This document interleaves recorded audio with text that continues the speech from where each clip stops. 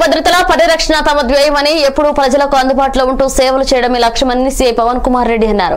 బుధవారం ఆయన తూర్పు గోదావరి జిల్లా జగ్గంపేట నియోజకవర్గం గోకవరం పోలీస్ స్టేషన్ పరిశీలించారు. కోరుకొండ సీతారాం సీతానగరం పోలీస్ స్టేషన్లో సుమారు డెబ్బై మంది సిబ్బంది ఉన్నారని అన్ని ప్రాంతాల్లో శాంతి భద్రతల పర్యవేక్షణ సక్రమంగా ఉన్నట్లు చెప్పారు.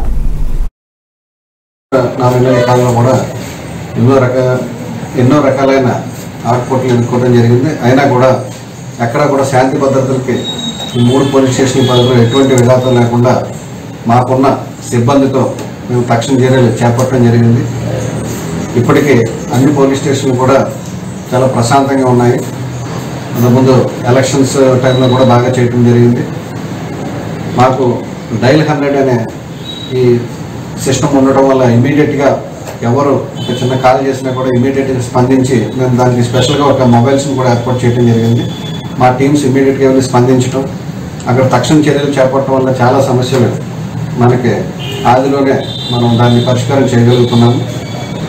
అదేవిధంగా లా అండ్ ఆర్డర్ పరంగా ఎటువంటి సమస్యలు వచ్చినా కూడా ఇక్కడ ప్రజలు ముఖ్యంగా మూడు మండలాల ప్రజలు కూడా చాలా కోఆపరేటివ్గా ఉంటున్నారు. వాళ్ళు పోలీస్తో సత్సంబంధాలు ఉండడం కలిగి ఉండటం వల్ల మాకు ఏ ప్రాబ్లం వచ్చినా కూడా సాల్వ్ చేయటం ఈజీగా ఉంటుంది. మూడు స్టేషన్ పరిధిలో మెన్ పవర్ చెప్పండి. మ్యాన్ పవర్ మాకు సుమారుగా మూడు స్టేషన్లు కలిపి ఒక అరవై నుంచి డెబ్బై మంది వరకు మాకు స్టాఫ్ ఉన్నారు. కొద్దిగా స్టాఫ్ తక్కువగా ఉన్నప్పటికి కూడా ఉన్న వనరులతోనే మేము ఈ గ్రామాల సంఖ్య కూడా మాకు మూడు పోలీస్ స్టేషన్ పరిధిలో ఆల్మోస్ట్ డెబ్బై గ్రామాల పైనే ఉన్నాయి.